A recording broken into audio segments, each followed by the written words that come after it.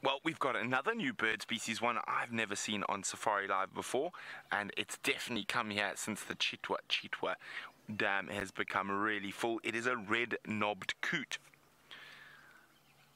So let's see, it's quite relaxed. We might be able to get a bit closer, but we will show you how full the waterhole is now.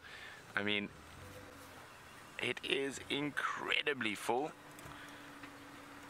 Hello, red-knobbed coot. So we were hoping that the water was going to bring us some new species, and indeed it has.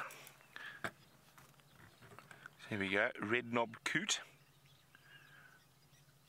I mean, we've been quite lucky. We've got a whole bunch of species on our list that are not the common ones. We haven't really focused on some of the common bird species, so I think we might definitely get to that magical number 100 before the 12th.